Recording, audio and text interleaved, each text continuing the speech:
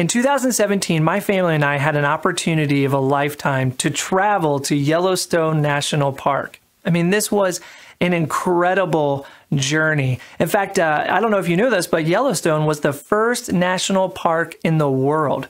In fact, it was 1872 that President Grant would preserve this national treasure and declare it um, a national park. And what was amazing uh, is the beauty of Yellowstone. I mean, you see some of the most amazing, iconic views. There's not a place in Yellowstone that you go where you're not uh, just surrounded by beauty. In fact, uh, um, you see the Grand Teton Mountains off in the distance over Lake Yellowstone. And uh, even at night, the moon is just gorgeous looking over towards the Tetons. And uh, what was really cool is we saw the Artist Point. Um, which is the, the the upper and the lower falls. And I mean, Artist Point is one of the the uh, places that have been photographed and have been painted over the years. Hayden's Valley is another location that you'll see incredible amount of wildlife. In fact, speaking of wildlife, the animals are incredible. You'll see bison. In fact, the picture that you see here is a bison that that roamed into our campsite, and we didn't have a chance to even jump into our van. Uh, we we were literally uh, just trying to keep the, the van in between us and the bison, and he kind of circled around a little bit around our campsite. And then there's um, bears and eagles and wolves and and elk. Um, the elk, in fact, were a little nosy in itself. So th- this particular elk went right over to our meal. I was cooking chili on uh, the outdoor stove, and that elk stuck his nose right up to the pot of chili, and uh, I guess it burned him. And I made a noise, but the elk took off. Um, and then Peyton has a really funny story about a yellow bellied marmot that while the first day that we were at Yellowstone, we went hiking and we were going to the scenic overlook, and all of a sudden Peyton was sitting on this uh, log, and this little yellow bellied marmot just popped his head out and he looked at Peyton like, What are you doing here? It was hilarious. We were cracking up. She was scared. I mean, it was. She screamed, and uh, the the little yellow belly marmot ended up taking off, and uh, it was just. It was an incredible experience. But the one thing that you have to take into consideration when you get out to Yellowstone are the geysers.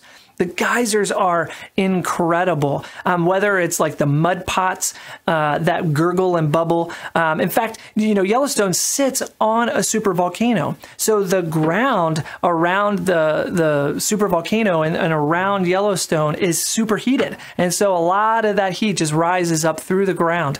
And what's impressive about that is it ends up sometimes shooting water into these beautiful geysers. In fact, the Grand Prismatic is one of those particular geysers that is amazing to see. The colors are incredible. The heat that comes off of the geysers is really tremendous. In fact, uh, this is a picture of Kaylee and the kids and I as they were waiting for the um, for the uh, we were going around to take a look at and check out the uh, the geysers, and then also too um, the granddaddy of them all, Old Faithful. So Old Faithful was amazing to take in. Uh, this geyser has been so, well, as it says, popular that and faithful that people come from all over to see uh, Old Faithful go off. And it recently has been famous because uh, somebody was arrested for trying to cook a chicken over top of the hole of Old Faithful. I don't recommend that. And, uh, in fact, um, the reliability of Old Faithful is you can set your watch to it. What's amazing is they have an app that will tell you when Old Faithful is going off. Now, we didn't know about this app, so we just showed up anticipating that, like I've heard, like every 15 minutes or so. So, this is us. There is nobody else around and we could see little puffs and whiffs of clouds that and steam that was coming out of Old Faithful. Um, but we were waiting for the big eruption, and there was nobody around. In fact, somebody then came, sat down with us, and they said, "Oh, are you guys here to see the Old Faithful go off?" We said, "Yeah," and they go, "Well, it'll be another like 35 minutes." We were like, "What? Another 35 minutes? Well, what are we going to do until then?" And uh, here there is an app that tells you exactly when you can anticipate Old Faithful going off. So then crowds and crowds and crowds of people came, uh, and then uh, Old Faithful erupted 180 feet in the air. is uh, the water shoots up 180 feet in the air and it goes off 20 times a day. Now you may be wondering, why are we talking about geysers? I thought this was a Christmas series. Well, it's because geysers remind me of our principal topic for this uh, for our, our time together, and that's joy. Guys just remind me of joy because there's a bubbling up of joy that's taking place. And for many of us, uh, we, we, we tend to maybe think about things that erupt or, uh, um, you know, reaching a point where you can't contain yourself. And we tend to think about that in terms of anger. But what about joy? What if there was something that was gurgling inside of us, something that was bubbling up, and eventually it would lead to this explosion of joy? And uh, the positive side of that explosion versus anger. Now, if we're being honest, everyone experiences joy differently.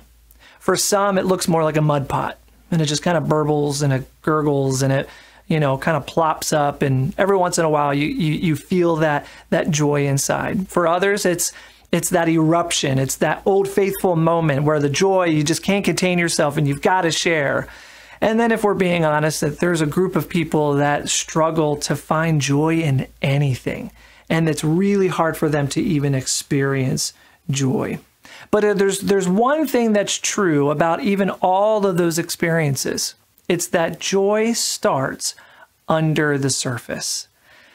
Joy bubbles up. It starts down low and works its way through to come out. Joy is the trait that we're going to be talking about. And in our Rediscover Christmas series, our Advent series, which means coming, it means arrival. It's our reminder that, that Jesus, uh, you know, it's his past and the present and the future, and that Jesus will return one day. Each week, we're focusing on a different attribute of God that's represented in his son Jesus when he came hope, peace, joy, and love. And through these different traits, the hope is that we will uh, relearn and rediscover the, the true value and the true meaning of Christmas. And that is despite our challenges, despite the hardships and the pain that we experience. And the reason for that, despite all of that, is because Jesus is Emmanuel, which means God with us. So, this is a great place for us to stop I'm going to encourage you to move to the Start It Out section of your talk sheet. Have a conversation about this topic of joy. Begin the dialogue. And then when you're ready, uh, you can either continue in the message and in five seconds, it will automatically uh, begin. Or you can just uh, press pause, have the conversation, and then press play when you're ready to continue.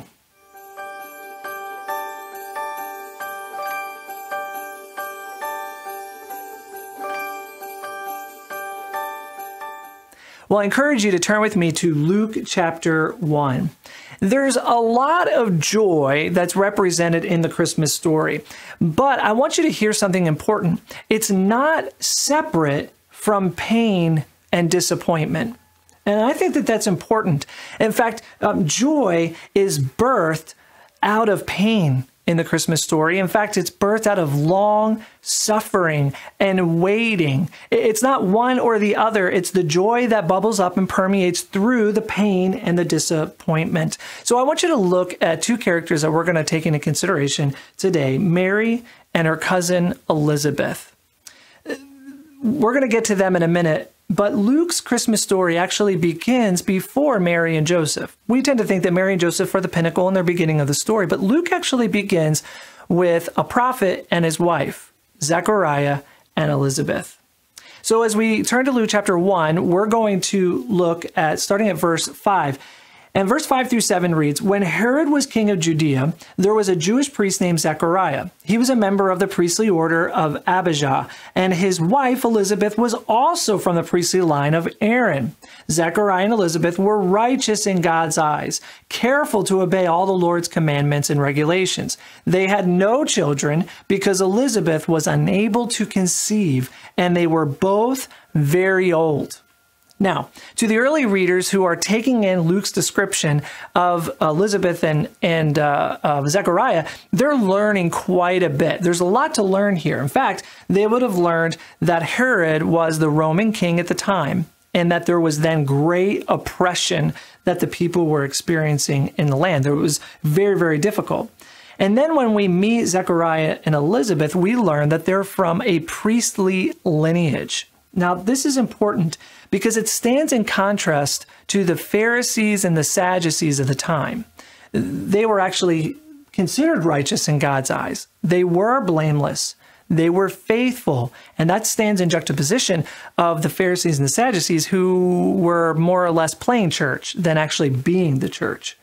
Now, what's interesting too is that uh, we learn from this particular scripture that they weren't just old, but they were very old.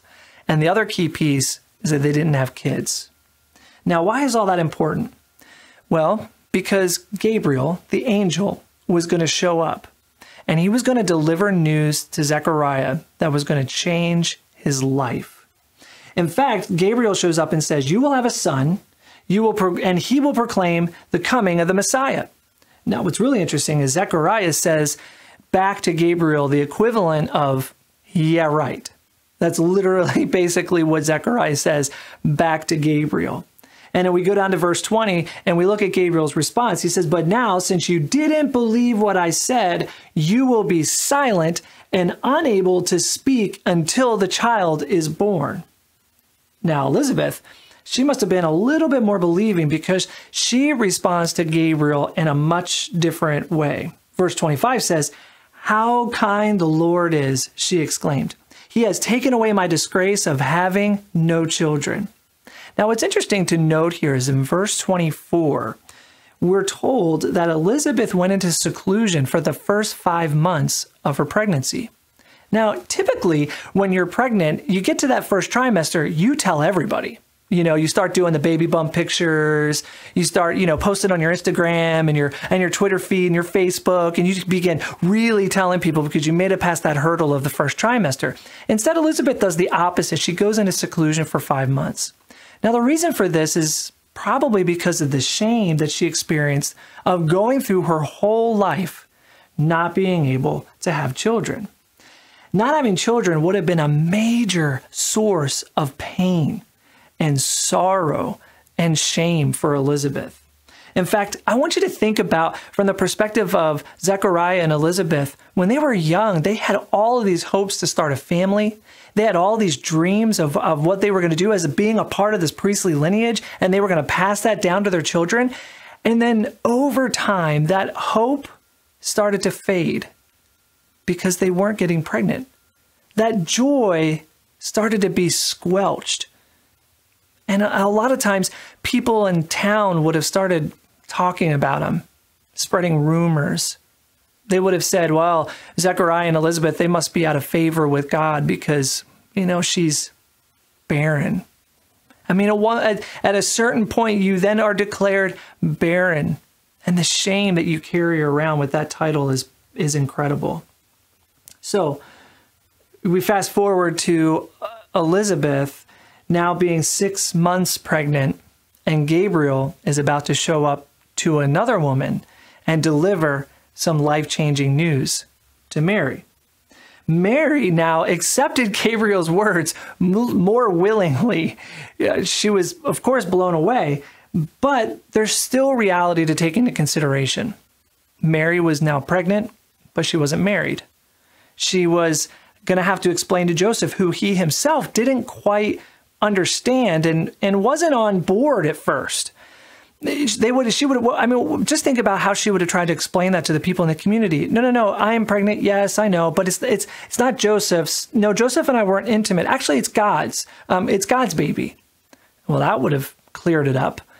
I mean so there's so much going on here and maybe that's why Luke points out Mary's excitement to connect with her cousin Elizabeth. Because surely, if anybody would uh, feel that excitement and, and burst with joy, it would be Elizabeth to understand. Because at this point, Mary would have known that Elizabeth was pregnant. Now, Mary was pregnant, and they get to be pregnant together. How awesome is that? And uh, so Luke 1, verse 41 says, all the sound of Mary's greeting, I'm sorry, at the sound of Mary's greeting, Elizabeth's child leapt within her, and Elizabeth was filled with the Holy Spirit.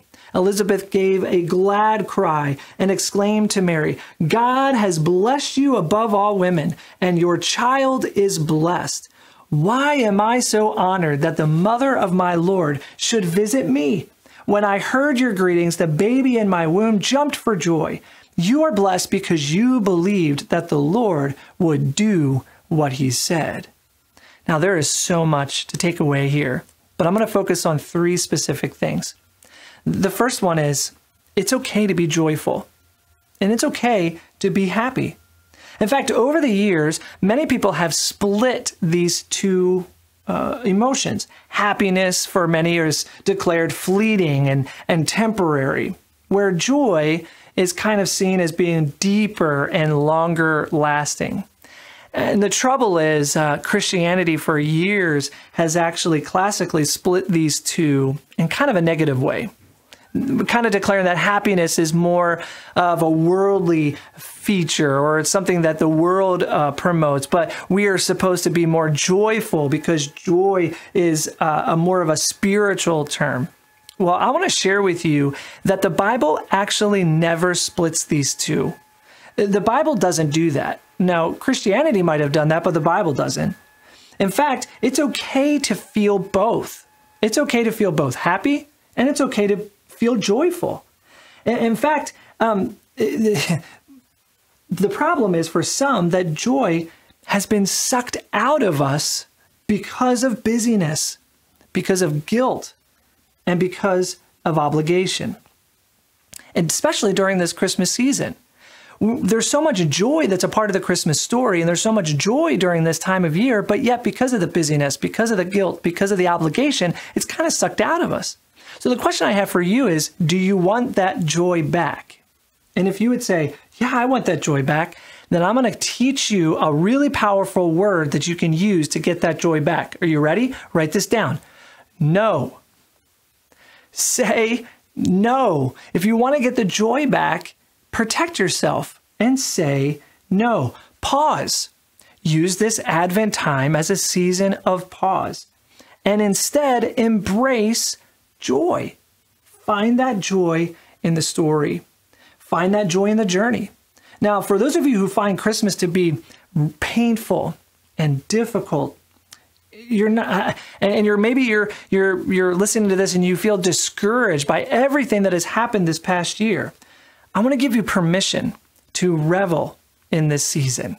I want to give you permission to put all of that on pause and to seek the greatest and greater joy that is surrounding you today. Because it is, but we have to search for it.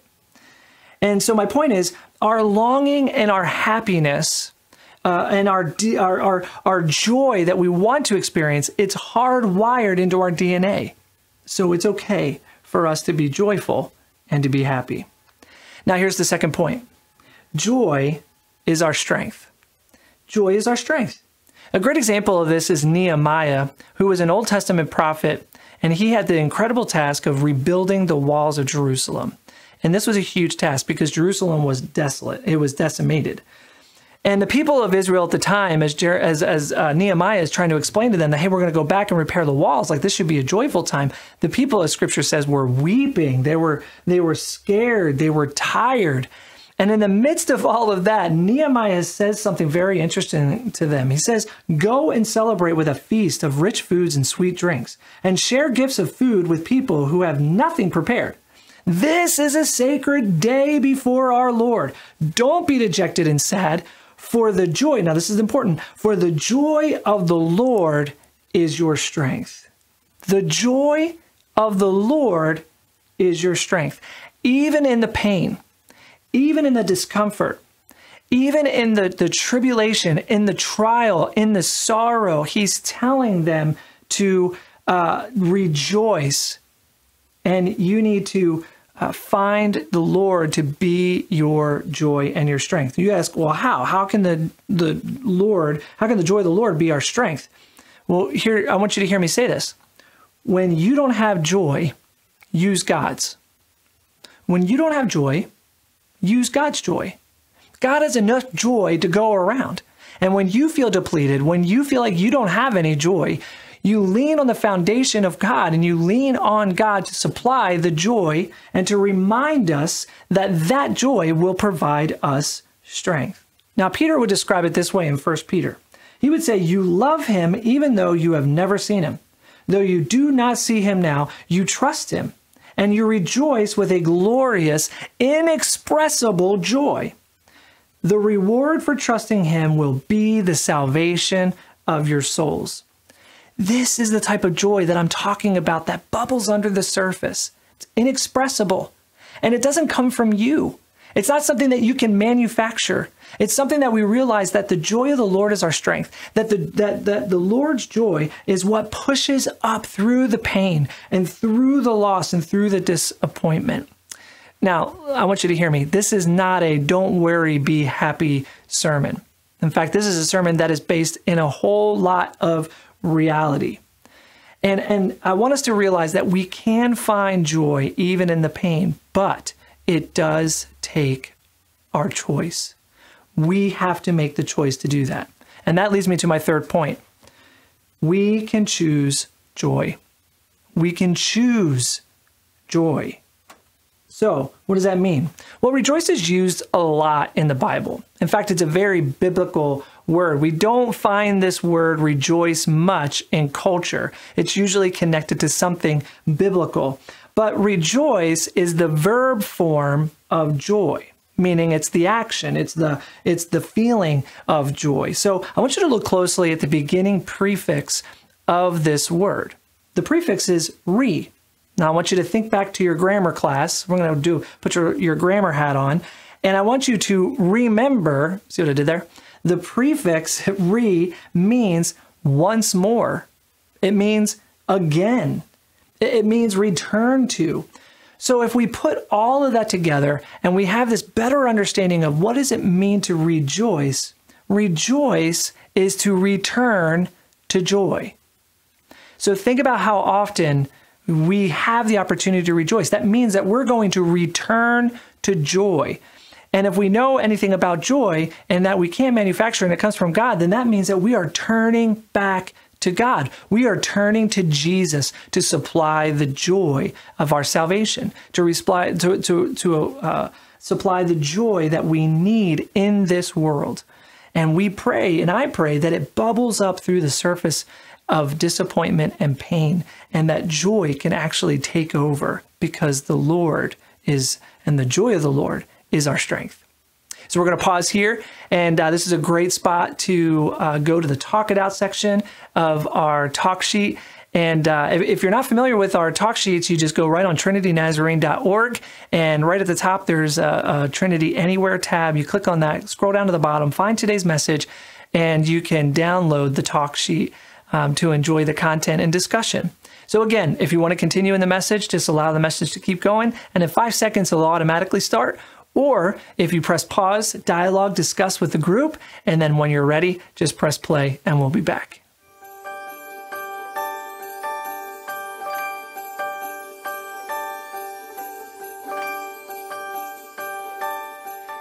So, no matter if things are terrible or things are great, none of us can conjure uh, an unending supply of happiness and joy. Like I said earlier, we just can't make that on our on our own. In fact, it doesn't eliminate the fact that we're going to have bad days. And that's why the re is important in joy, to rejoice, because it's a reminder that we are returning to Jesus daily that we are returning to Jesus constantly and to recognize that the source of our joy is like refilling our tanks and restoring our strength and renewing our spirits. That's what it's going to take. If we don't have joy and we feel empty and depleted, we have to go to the one who can refill that tank for us. Jesus' brother James, who uh, wrote the book of James in scripture, he actually famously said, Consider it pure joy when you face trials of many kinds. Consider it pure joy when you experience trials of many kinds. I had to say that again because I know maybe this is the first time you're hearing that scripture and you're going, well, that doesn't make sense.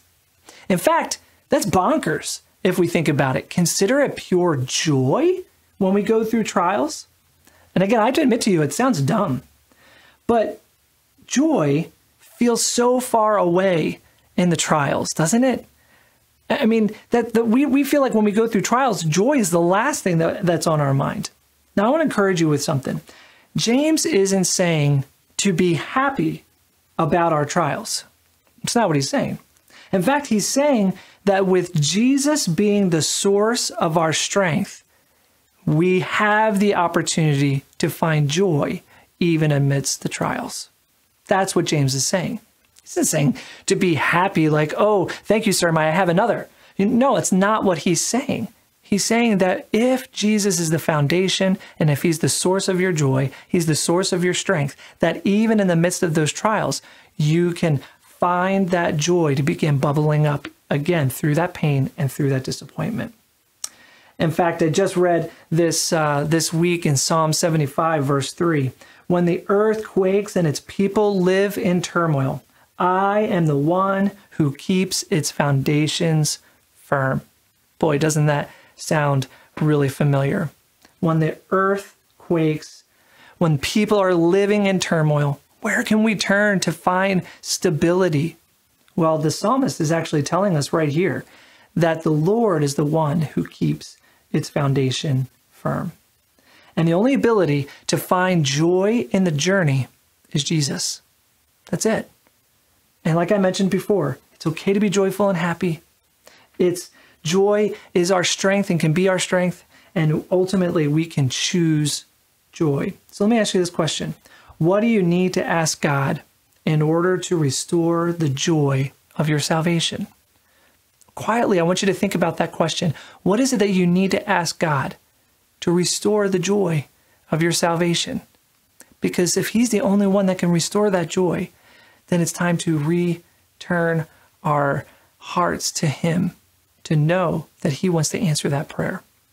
Here's the second question How can you bring joy this week? How can you bring joy to a person? How can you bring joy to a community? How can you bring joy to your neighbors or neighborhoods? How can you bring joy to your family? I want you to think about the action. This has got to be an actionable item that we then declare not only is Jesus the joy of our salvation, but we're going to do something with that joy. And we want to be, whether it's a mud pot or the Grand Prismatic or Old Faithful, it's going to spring out of us. And it's going to be something that just starts under the surface and people are going to recognize because they're going to get wet. They're going to get wet from the from the joy that is uh, coming out of you and spilling out uh, of you. So let's rediscover Christmas. Let's rediscover joy. Let's rediscover the joy of Christmas and embrace joy. And remember the source of our joy and return to that. Remember that God desires to be the source of that joy and return to Him and and let's be like Zechariah and let's be like uh, Elizabeth and let's be like Mary and Joseph and the shepherds. And when the angel comes and when God speaks to us and and gives us news let's heed the word of great joy and uh, and consider how God wants to fill us with that joy even today. Would you pray with me? Gracious heavenly father again we thank you for being uh, the joy of our salvation. Lord, thank you for supplying that joy that we need in order to uh, um, see how, even through the pain and through the suffering, Lord, I can't even imagine the, the pain that Elizabeth was experiencing and that Zechariah was experiencing. But even in the midst of that, joy was evident as it as it they returned their hearts back to you to know that you are the God of even the impossible. Lord, I pray for each of us this morning as we uh, um, or that we uh, would return to you to find that source of our joy. And as we experience the incredible joy of the Christmas story, let us remember where that joy comes from. And we thank you for this, and we pray it now in your name. Amen. Well, as we end our time together, one of the things that we love to do each time is just to simply declare this blessing, this benediction. And so I encourage you as you are uh, viewing this content that you would say this benediction with me as it's here on the screen. And now may the Lord bless you and keep you. May the Lord make his face to shine upon you and be gracious to you. May the Lord turn his face towards you and give you peace. In the name of the Father, and the Son, and the Holy Spirit, amen and amen. You are sent.